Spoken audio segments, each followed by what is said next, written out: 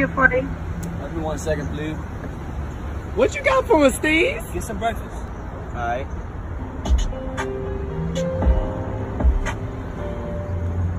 It's not even morning, I got breakfast on my mind. I need a number two, a number four, two number nines. And can you add a sausage, egg, and cheese with hash browns on the side? My little partner want a orange juice, but he said he don't want ice. No ice. And I put some grape jelly in the bag, that would be nice. And I think I want some hot cakes, can you make it four or five? Can I add a chicken biscuit? Make sure that it's freshly fried.